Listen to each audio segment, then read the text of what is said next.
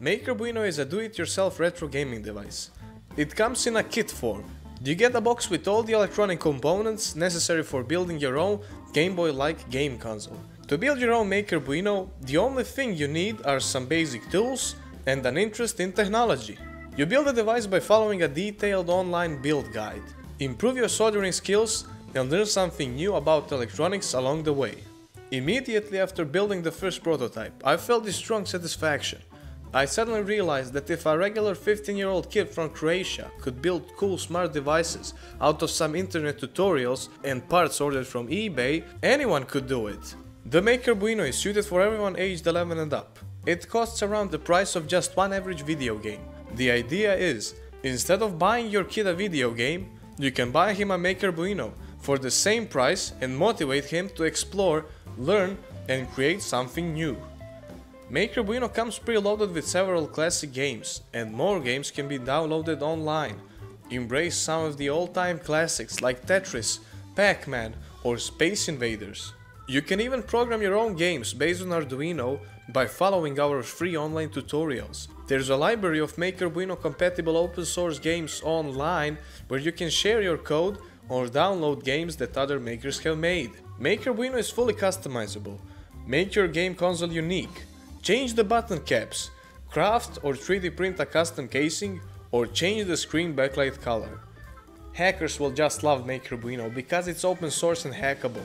You can expand its capabilities with additional hardware modules. Easily connect a GPS, Wi-Fi or accelerometer module.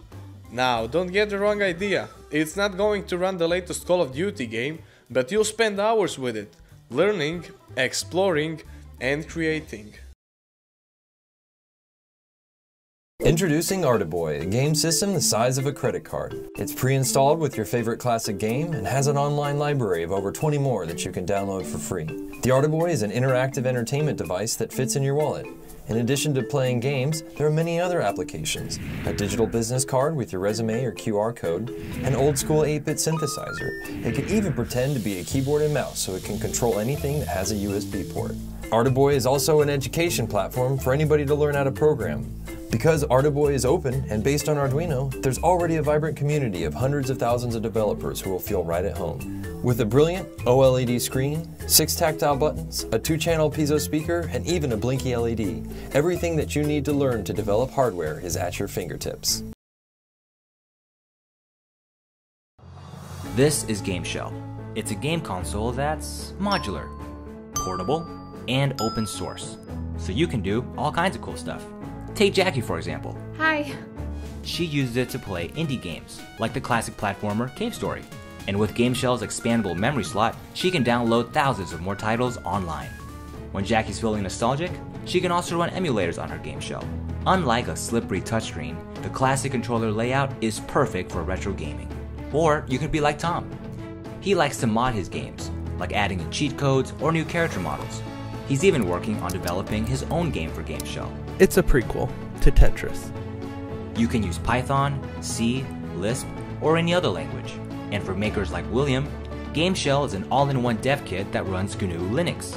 Each kit comes with an ARM-based dev board, an Arduino-compatible programmable keypad, a 2.7-inch screen, a 1050 mAh battery, and a stereo speaker.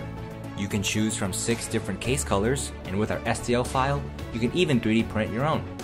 With GameShell's plug-and-play modules, Will doesn't waste any time searching for compatible parts.